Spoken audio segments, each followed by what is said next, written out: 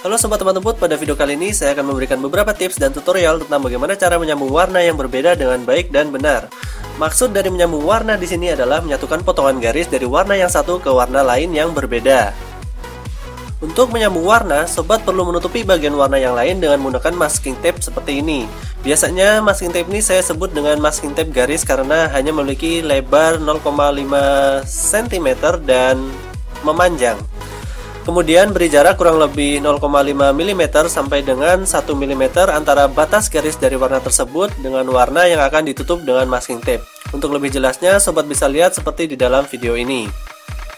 Setelah sobat menempelkan masking tape untuk menutupi bagian warna yang tidak boleh terkena cat, sekarang gunakan kuku bagian atas sobat untuk menekan masking tape tersebut dengan maksud agar masking tape-nya menempel sempurna pada permukaan warna. Sekarang saya akan coba ngemasking potongan warna yang lain karena pada helm ini masih banyak detail yang belum saya bubuhi warna. Oh ya sob, helm ini pakai motif helmnya Mbah Rossi Sole Luna 2017 ya sob. Jadi banyak banget detail warna-warna yang berbeda-beda. Oh ya sob, dalam melakukan penyambungan warna ini harus mengikuti bentuk dari pola atau sketsa yang sudah sobat persiapkan atau buat sebelumnya menggunakan pensil. Untuk membuat sketsanya, sobat bisa lihat video saya yang sebelumnya. Linknya ada di pojok kanan atas sekarang sob.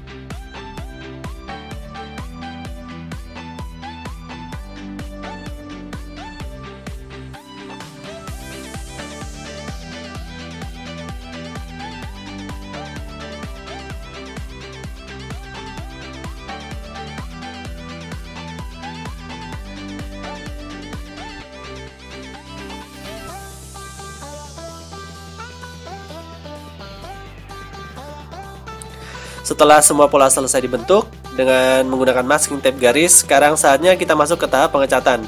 Namun sebelumnya sobat harus ngemasking dulu bagian yang nggak boleh kena semprotan cat airbrush menggunakan masking tape yang lebih lebar seperti ini.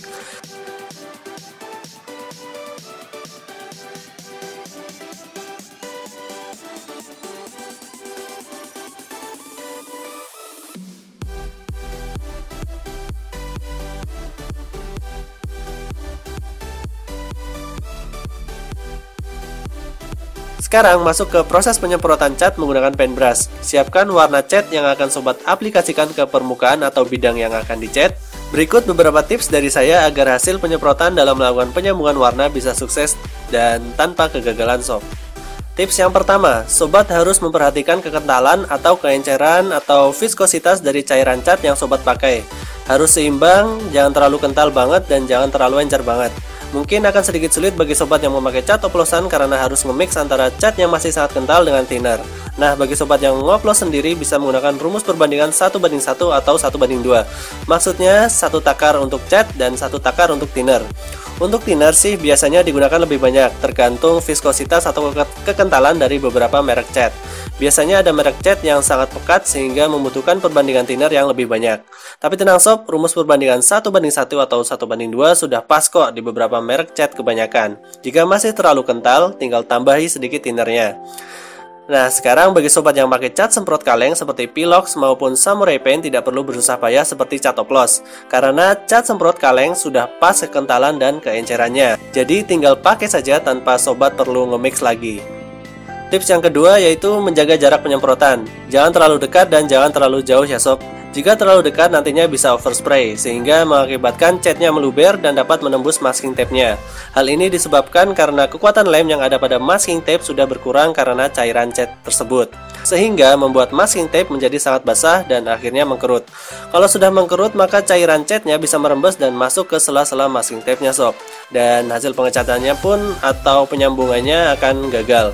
E, kemudian apabila penyemprotannya terlalu jauh akan menodai warna lain yang tidak tertutup oleh masking tape. Semakin jauh jarak semprotan maka cat yang dikeluarkan dari lubang paintbrush akan semakin besar atau melebar. Tips yang terakhir sob, jika sobat memakai cat yang sifatnya agak transparan seperti cat fluorescent dan candy tone, sobat bisa dasari dulu dengan warna putih agar hasil warnanya lebih jelas atau solid. Hal ini bisa juga menjadi cara mengatasi cat yang tebal pada warna fluorescent maupun candy tone. Agar garis catnya rapi, sobat harus menunggu hingga catnya benar-benar kering baru boleh melepaskan masking tape-nya. Saran saya sih tunggu sekitar setengah atau satu jam baru deh melepas masking tape-nya. Untuk melepaskan masking tape-nya juga tidak boleh asal lepas ya sob. Melepasnya harus hati-hati dan slow atau pelan-pelan saja untuk menghindari crack atau retakan pada cat yang mengering. Nah, kurang lebih penyambungan warna catnya seperti ini sob. Memang jika dilihat dari dekat, garis warnanya terlihat seperti bergerigi atau enggak benar-benar rata. Tapi jika dilihat dari jauh, nggak kelihatan kok sob.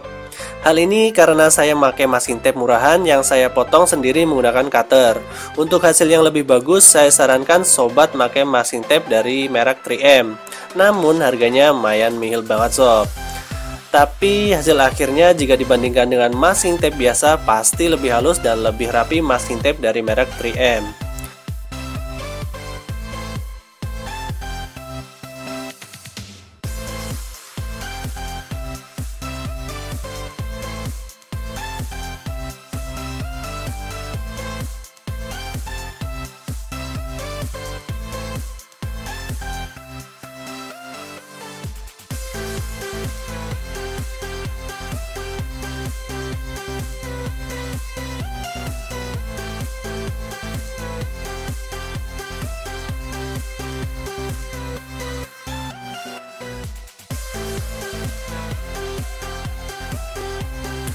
Oke sob, mungkin hanya sampai di sini saja videonya. Selamat mencoba. Semoga video ini dapat membantu sobat dalam melakukan pengecatan yang baik menggunakan airbrush maupun cat kaleng semprot. Terima kasih sudah menonton sob dan jangan lupa untuk subscribe channel ini jika sobat ingin melihat video-video tips dan tutorial seperti ini di masa yang akan datang. Bye.